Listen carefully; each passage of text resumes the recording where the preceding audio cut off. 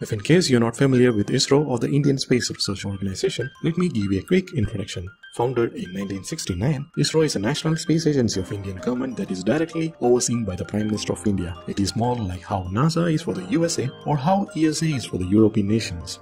ISRO was always working with a very tight budget. Currently, they have a budget of around $2 billion a year for their missions, research, and development. In comparison, NASA has a budget of around $22 billion and ESA has more than $7 billion.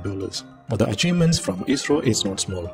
ISRO representing India is the only country among many others who were able to do a successful Mars mission in their first attempt that too in a budget far less than that of say NASA. India's Mars orbiter mission cost about $74 million and at the same time the American Maven orbiter for Mars mission cost about 10 times more at around $671 million. Mars mission and many other achievements of ISRO was made possible because of their homegrown technologies, lower cost, simpler designs and very hardworking team of scientists and engineers.